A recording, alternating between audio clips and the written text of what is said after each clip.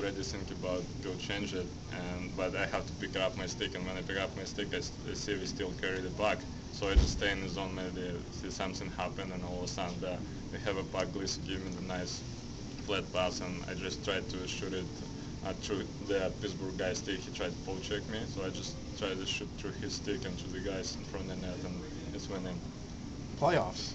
Oh, that's unbelievable. That's what we play for, you know, and uh, you guys did a hell of a job. It's it's a great year for us. Uh, you know, we fight for that, and we continue to fight. Make sure maybe we got uh, home ice advantage. You know, never know. What about Cam tonight? Oh, Again- he, he was yeah. he was just unbelievable. It's he he won the game for us. You know, we just did our job, but he was unbelievable. He didn't make all those great saves. I don't think we got to win but he was unbelievable tonight, like in other night as well.